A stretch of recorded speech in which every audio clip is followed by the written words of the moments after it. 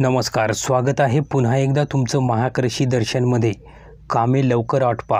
यापेक्षाही भयानक वादळ एकोणीस वीस ऑक्टोंबरला. पाहुयात काय आहे या संबंधीची सविस्तर माहिती.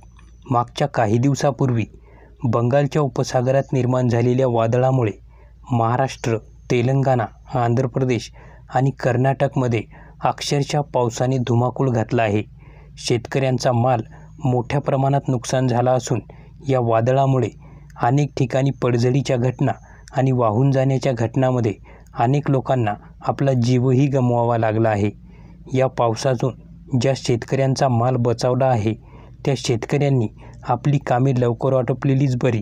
कारण लवकरच आणखीन एक नवीन कमी दाबाचे क्षेत्र बंगालच्या उपसागरामध्ये निर्माण होण्याची शक्यता स्कायमेटच्या हवामान तज्ज्ञांनी वर्तवली आहे. स्कायमेटच्या हवामान तज्ज्ञांनी वर्तवलेल्या अंदाजानुसार बंगालच्या उपसागरात निर्माण होणाऱ्या या कमी दाबाच्या क्षेत्राचे चक्रीवादळामध्ये रूपांतर होण्याची शक्यता असून हे चक्रीवादळ सध्याच्या वादळापेक्षाही भयानक असेल कारण या वादळाची तीव्रता सध्याच्या वादळापेक्षा जास्त असेल. ऑक्टोंबर महिन्यामध्ये मोठ्या प्रमाणात चक्रीवादळे तयार होत असतात. एकोणीस किंवा वीस ऑक्टोंबरच्या आसपास हा कमी दाबाचा पट्टा तयार होऊन याची चक्रीवादळामध्ये रूपांतर होण्याची दाट शक्यता आहे. कारण बंगालच्या उपसागरात चक्रीवादळ निर्मिती होण्यासाठी सध्या अनुकूल वातावरण आहे.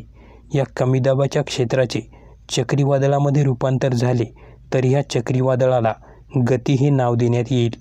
सध्या उपलब्ध असलेल्या सॅटेलाईट पिक्चरनुसार या वादळाचा परिणाम आंध्र प्रदेशासह महाराष्ट्राच्या वातावरणावर होऊ शकतो.